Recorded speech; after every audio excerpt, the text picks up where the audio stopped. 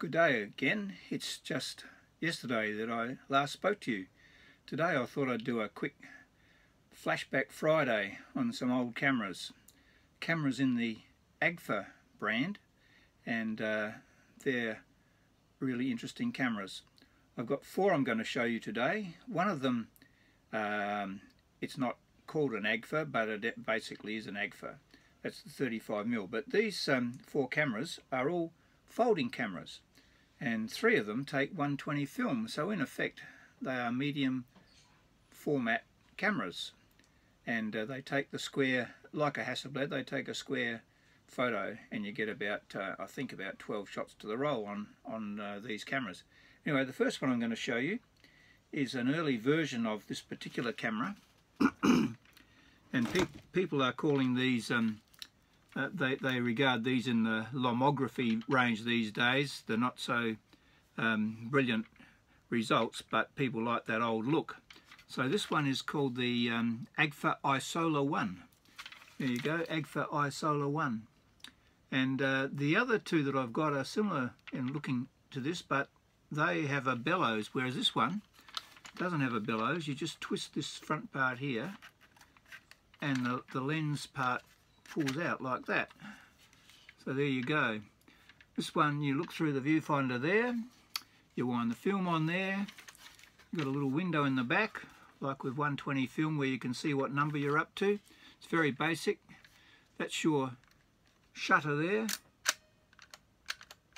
To wind it on before you can take another shot I think. Okay, and um, you've got very little control you've got uh, on the front here you've got a um, some settings for zone focusing basically. You've got a a um, 5 to 8 feet range and 8 feet to 17 feet range and a 17 feet to infinity. You can see them just uh, there on the front there. You can see those different ranges there. And basically to focus the camera you just uh, estimate the distance that you're looking at there's no split image viewfinder through this, a rangefinder, it's not a rangefinder camera. So use that zone focusing method there. you don't have much um, in the way of, uh, sorry, control over your aperture.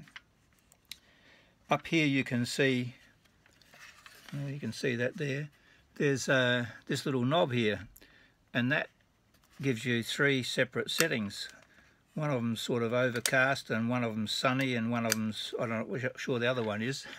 But anyway if you have a look inside that viewfinder there as I change this you might be able to see the see the aperture changing there. Do it there. Three settings. Okay.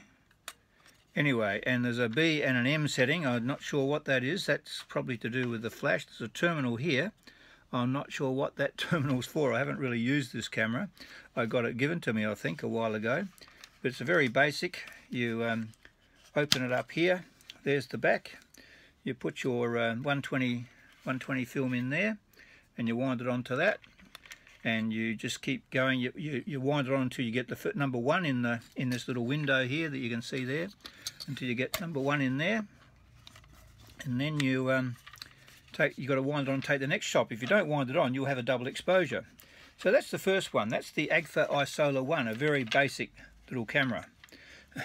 the next one, which is a bit more refined than that, which I, um, this was the next one I got. I'm not sure how I came by these, whether I paid for them or, or bought them or not. But this one is called the Agfa Isolette 1.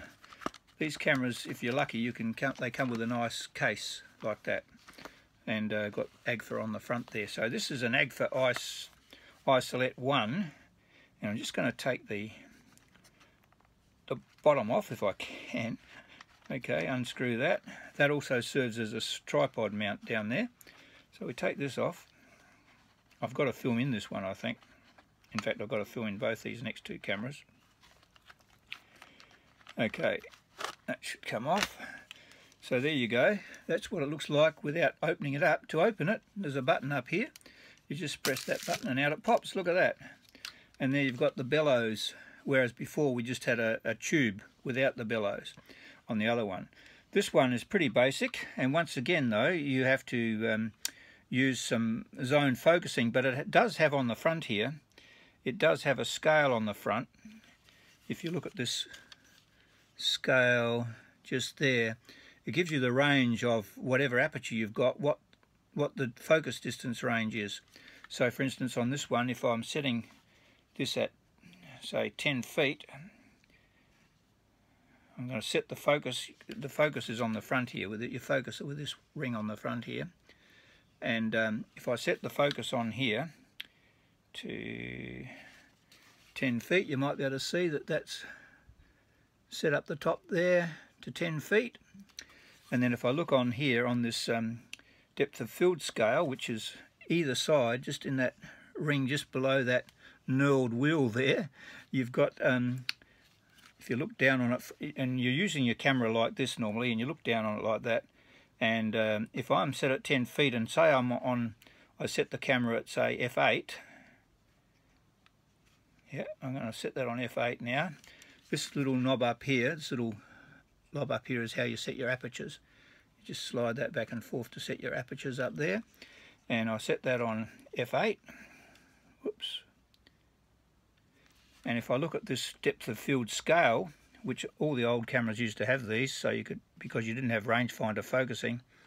If I look at this, it tells me that um, at f8, wait a minute, I'll go around this way now. At f8, um, and I've got the focus set on 10 feet, everything between about um, 7 foot and about 15 foot is in focus. Um, so you can and also you can set this on, on the other end here. If I set this camera to, say, infinity at f8, well then everything from about uh, 13 feet, looking at the scale up here, everything about from about 13 feet to infinity will be in focus. So quite handy for, for taking shots. And you can get reasonably accurate with your focus on these cameras. So there you go. It's got a uh, a um, flash sync um, uh, nozzle here to, to plug your flash into. I think that's what it is. And I'm not sure whether this has got, um, it's a Vario shutter. It's an Ag, Agfa Agnar 1, oh, sorry, f4.5 85 millimeter lens.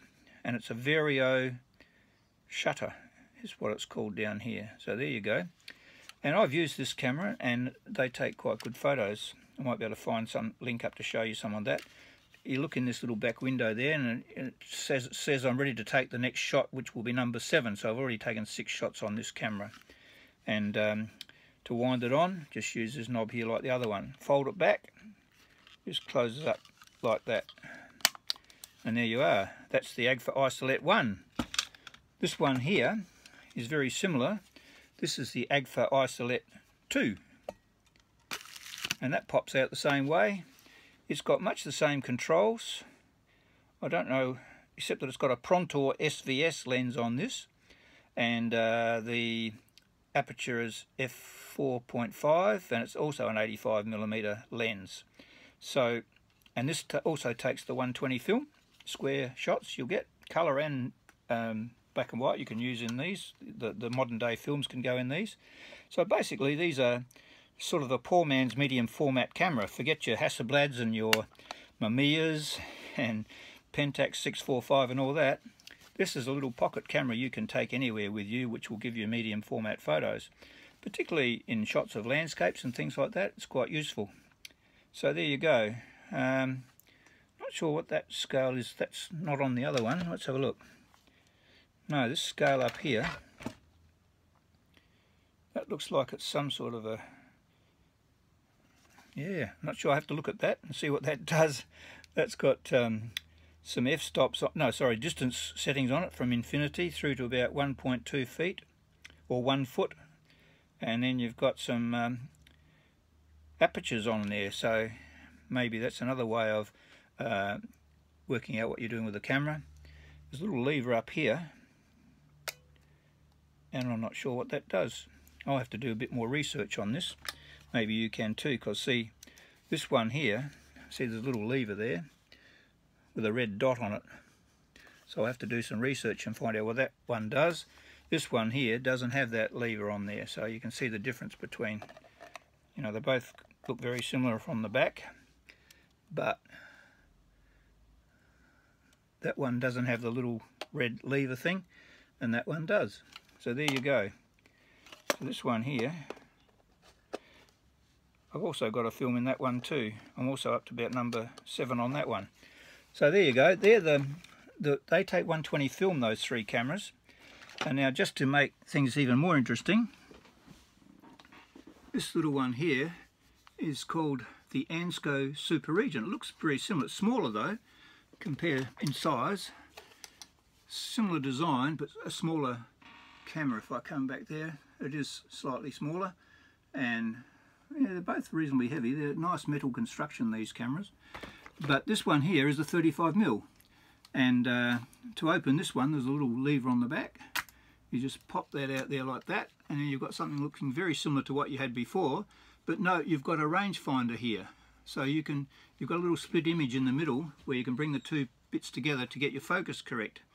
Um, and also you've got uh, your depth of field scale as well on the front. Oh no, you haven't. No, you haven't got that because you're using the split image focusing.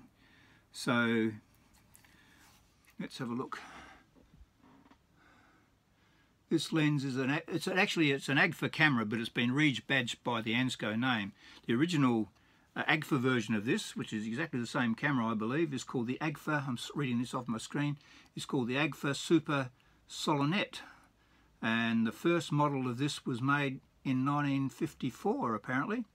Um, and, but then this one here was a rebadged one called the Ansco uh, Ansco Super Regent, whereas the other one was the Agfa Super Solinette, but they're both the same camera, uh, pretty much. And um, it's a beautiful precision camera, and uh, just have a look at that. It's just so well made. This one's pretty much in mint condition, really, and uh, takes 35 millimeter film.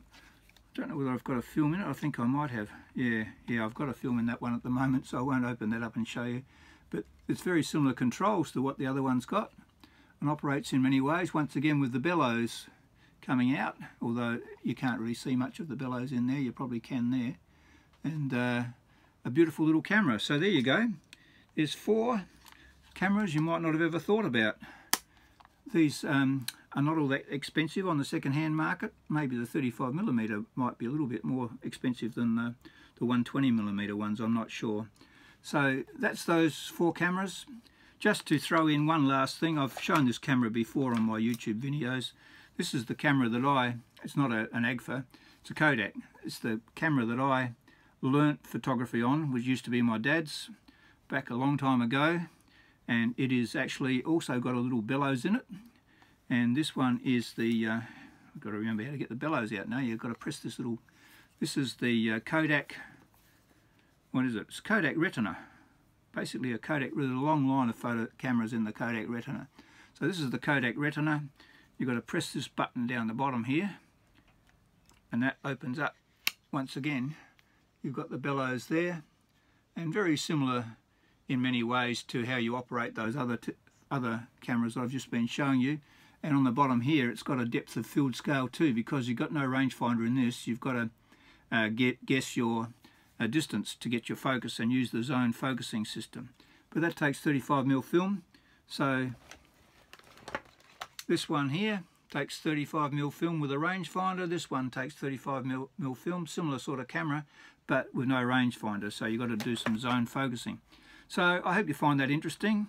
I'll try and put some um, links to these cameras on, um, just open this one up again so you can see what it looks like. I'll try and put some links to these cameras. That was the, that one's the 35mm one that is, so there you go. I'll try and put some links to things about these cameras on my YouTube video. So once again, thanks for watching. I hope you found that interesting. Uh, here again on what we'll call Flashback Friday once again. So uh, have a good weekend. See you later.